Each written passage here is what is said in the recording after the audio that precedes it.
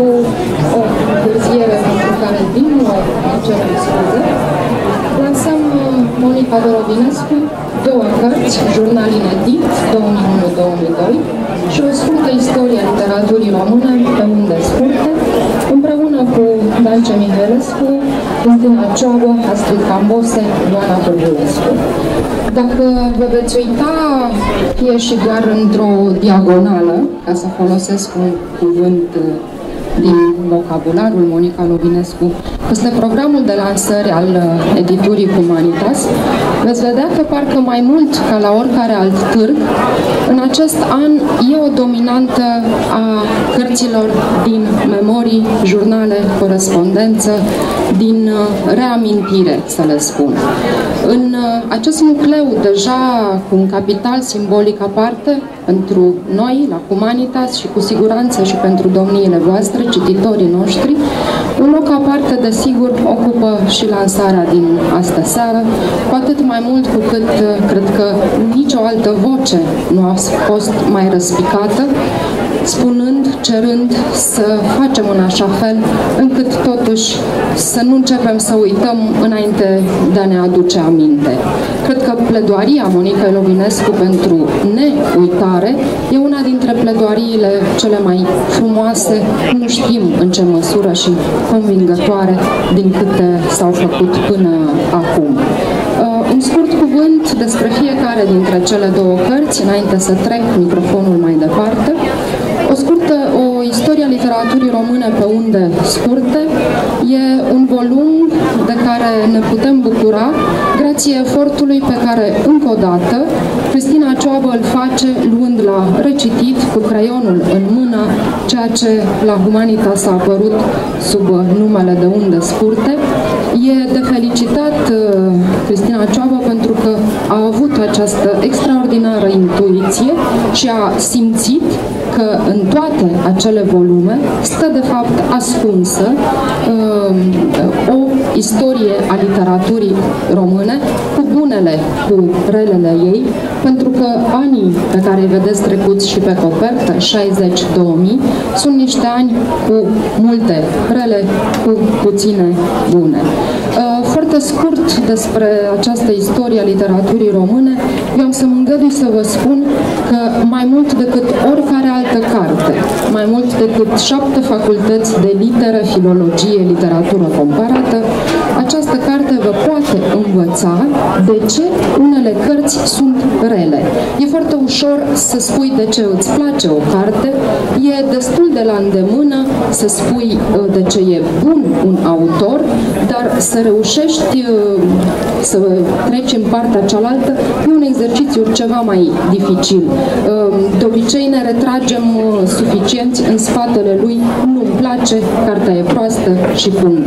Ei bine, e, e un lucru care se învață din istoria literaturii române pe unde scurte, așa cum a configurat-o Monica Lovinescu în cronicile ei radiofonice,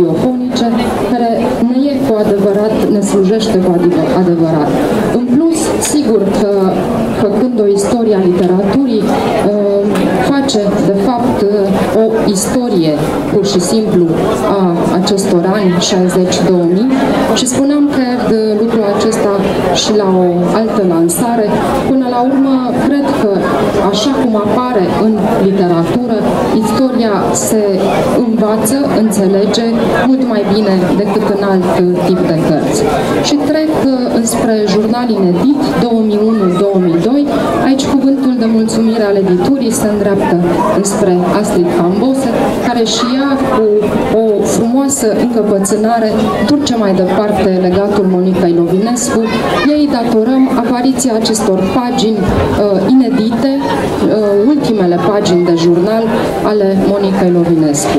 O carte care e construită ca coadă, aș spune, uh, pe raportul teribil de tensionat care subîntinde, de fapt, întreaga opera Monica Lovinescu. Raportul dintre luciditate și iluzie. Uh, luciditatea uh, analizei, a verdictelor, luciditatea cu care privește înspre realitățile politice din țară și iluzie nu în sensul de cai verzi pe pereți, ci iluzie în sensul de nevoie de a vedea, de dorință de a vedea, de a detecta în oameni, în întâmplări, în cărți, în orice și niște, în sfârșit, semne luminoase ale schimbării. Um, sigur, acesta e, să spun, un raport, uh, o tensiune foarte teoretică, altfel, în plan uman, dacă e să vorbesc despre jurnalul inedit, nu pot să nu spun că e o carte care respiră cu fiecare pagină presentimentul uh, sfârșitului. Boala, moartea sunt uh, mai în fiecare zi prezente, uh, dar nu într-un fel tânguicios, cine și-ar putea o închipui pe Monica Lovinescu tânguindu-se, ci la fel cu, cu verbul ei, cu felul ei foarte uh, lucid, lucid de a fi, sobru și uneori cu ingredientul uh, irezistibil al uh, umorului ei. Sunt și uh, morți ale unor uh, prieteni, morți despre care știm și noi.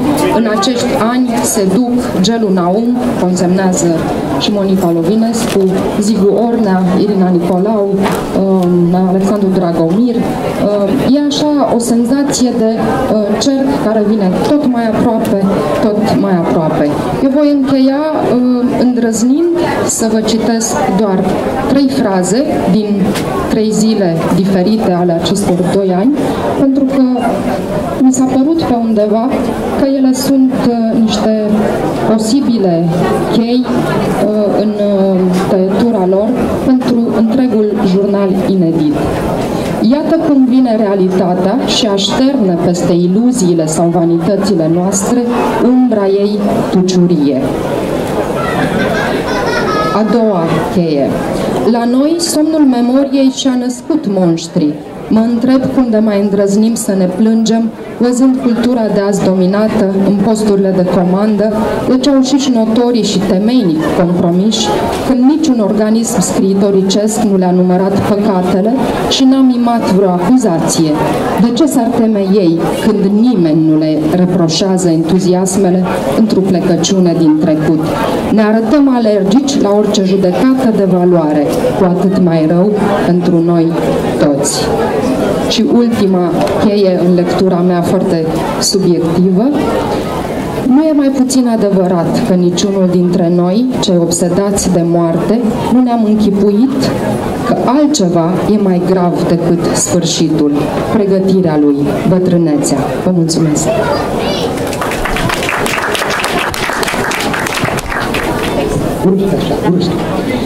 Bine v-am regăsit!